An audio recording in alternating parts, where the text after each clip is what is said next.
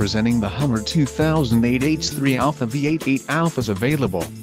If you are looking for a first-rate auto, this one could be yours today. This vehicle shows low mileage and has a smooth ride. Don't let this vehicle get away, call or click to schedule a test drive today.